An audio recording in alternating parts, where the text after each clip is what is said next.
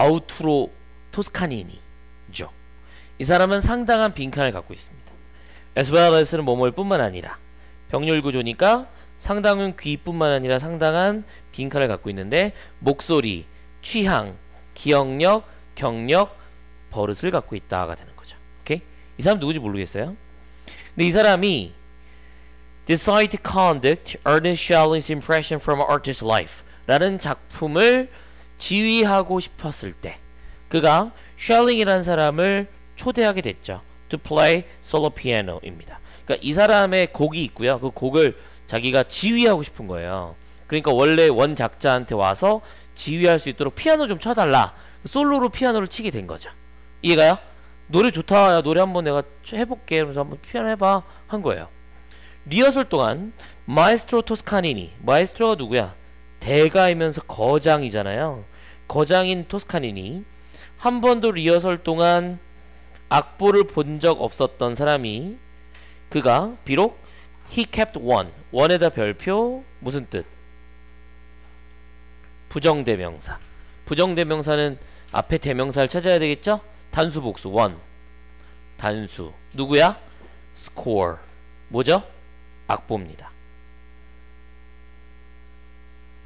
이 뜻하는 건 단수의 명사로 이 스코어가 됩니다 스코어가 뭐였죠? 악보예요 악보를 비록 스테이지 위에 하나 두고 있었지만 리허설 동안 악보를 절대 보지 않았던 겁니다.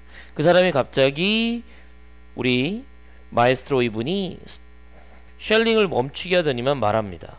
어, 내 생각에 G 플랫을 생략하신 것 같네요 라고 얘기를 했다는 거죠. 여기 보면 밑줄 친 피아니스트는 앞에 있는 미스터 쉘링입니다. 그 피아니스트라고 하는 거니까 피아노를 치는 피아노 솔로잖아요. 그러니까 이 글은 바꿀 수 있는 가장 좋은 유형이 지칭 추론입니다. 그냥 스토리고 일화이기 때문에 얘를 갖고 다르게 바꿀 수가 없는 글이거든요. 피아니스트는 한마디로 미스터 쉘링, 즉 이 노래를 쓴 원작자입니다. 원작자에게 저기 G 플랫을 혹시 오미트 생략하셨나요? 방금 생략하셨습니다. had PP로 한 시제 앞서는 대과거로 아까 하셨어요? 라고 얘기했다는 거죠. 근데 쉘링이 이렇게 얘기합니다. 네, 맞아요. 근데 일부러 그랬어요. 왜냐면 안 썼거든요. 원래 악보에는 그 특별한 그 지점에는 제가 G를 안 썼어요. 그러니까 그걸 안 한 겁니다. 라고 얘기했다는 거지. 뭔 개소리일까? 뭐냐면 음악이 이렇게 가다 보면 불협화음이란 게 있고 하모니가 있잖아. 그치? G 플랫을 써야지만 부드럽게 되기 때문에 음악을 아는 사람들끼리는 G 플랫이 있어야 된다는 거야. 이해가? 근데 원작자는 예 맞아요 근데 저 G 플랫 없어요 거기 안 쓴 거예요 일부러 어떤 음악적인 효과를 위해서 이해가? 그렇게 얘기를 한 거죠 토스카니라는 사람은 토스카니니인가?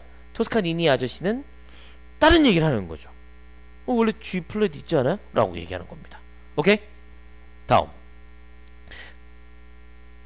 그것이 마에스트로 토스카니를 놀라게 했습니다. That surprised. 그래서 그는 invite 목적어 to부정사. 쉘링 일로 와봐. 왜요? 함께 우리 악보 보자 라고 한 거지. 어? 그럴 리가. 딱 그런 거죠. 악보를 본 다음에 It was It was에다 체크. 누구지? 후에다 체크. 누구지? 강조구문. 뒷문장 먼저 해석한 거죠. 놀라게 된 건 바로 미스터 쉘링이었다. 그가 말하는 거죠. 어 토스카니 제가 G 플랫을 생략한 게 맞네요 I did omit 항상 나는 이 작품을 항상 내가 이거를 G 플랫을 없앤 상태로 연주를 했습니다. 내가 그걸 쓴 이후로 한 번도 거기 있다라고 생각해 보지 못했거든요. 내용이 뭐냐면 결국은 G 플랫이 있는 거예요. 이해가요? 근데 원작자는 그게 없다고 생각하고 계속 피아노를 쳤던 거죠. 결국 토스카니는 어떤 능력을 갖고 있는 겁니까?